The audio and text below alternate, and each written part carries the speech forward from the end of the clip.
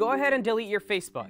Just know that Instagram is collecting your data in very similar ways. Most people don't know or just forget that Facebook owns Instagram. So that means Instagram uses the exact same technology to harvest your data and help advertisers hyper-target you with eerily specific ads. Essentially, they're one and the same.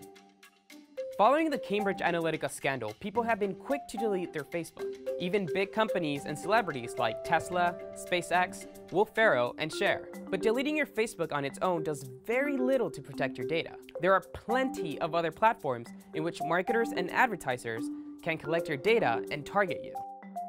If you're on Instagram, advertisers will get as much data from you as they did on Facebook. Advertisers have to go through Facebook's ad manager in order to place ads on Instagram. And the ads you see are all based on your activity on both Facebook and Instagram. So advertisers can choose to target you on Instagram based on your Facebook activity and vice versa. And they'll use everything you tap or click on to their advantage. Every like, every follow, every stalking session on your ex. You might be thinking of loopholes by now, but sorry, there are none.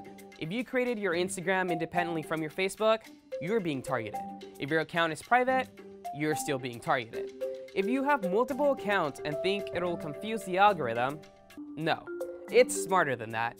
You're still being targeted. Things get sketchier though you're not only being tracked within the Instagram platform. Advertisers can fetch information from your everyday queries. And no, I'm not talking about the rumor that the Instagram app is hijacking your smartphone mic and eavesdropping on your conversations. Instagram and Facebook are capable of tracking things you like based on your browsing activity.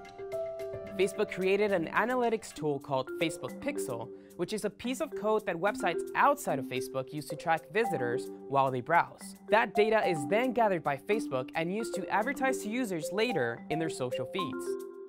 Of course, you can avoid that by either searching on an incognito window or logging out of your account and deleting all of your cookies.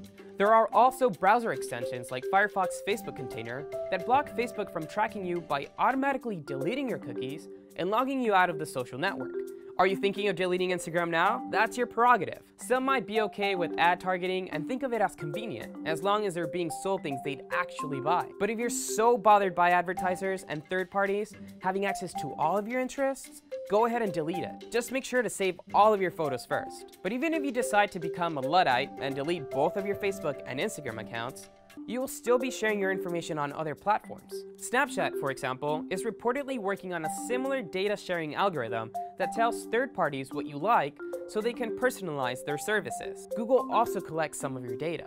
Regardless of what you decide to do, it's safe to say that if you're putting any information online, someone has access to it.